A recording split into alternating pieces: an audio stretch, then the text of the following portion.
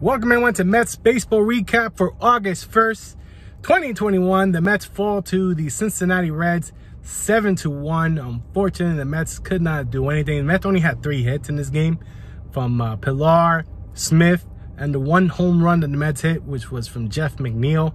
Other than that, everyone was 0-4. You can't do much with 0-4s. Um, Stroman may be the new DeGrom. Uh, no run support at all. And it's sad. That's, that's so sad. Um, Stroman was taken out after five and two thirds of an inning after he gave up uh, a base hit and then a walk. And uh, after that, he had three runs already on the board. And then Castro will end up walking two people, which pushed in another run, which, no, that run didn't belong to Castro. It belonged to Stroman. Stroman gave up four runs.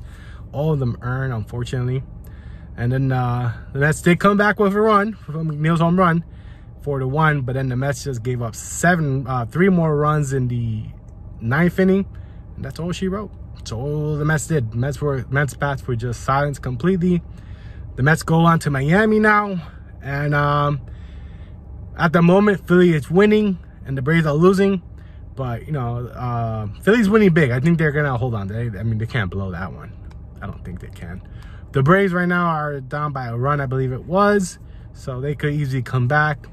Like I said, uh, the Mets are in control of their own destiny.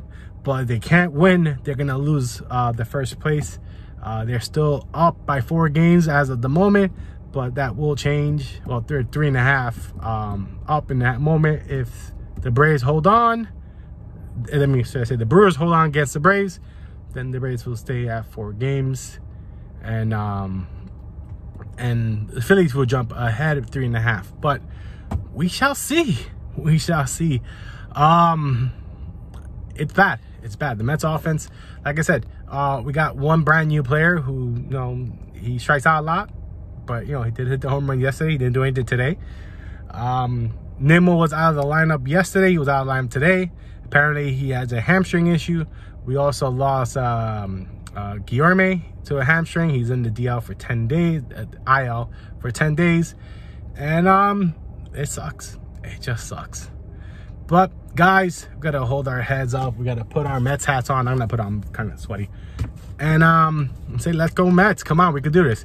Tomorrow we take on Miami, and then after Miami we go to Philly. So big series, big series coming up. Uh, the Mets have to have to turn this around, and like I said, uh, the lineup sucks, but if the, they, they, they, they just think about it, and I'll probably do another video about it, they could make a decent lineup. They just need to just stop, stop with this nonsense of this is the lineup and this is how it is. Instead, if you're gonna go analytics, go all the way in it. If not, um, don't use analytics to try to justify anything because when you play by the book, then you fail. If you play by analytics, you also fail. So you gotta pick one or the other. And I feel like Luis Rojas is in between everything. So it doesn't make sense, but it is what it is. I don't know what to say. Uh let's go Mets.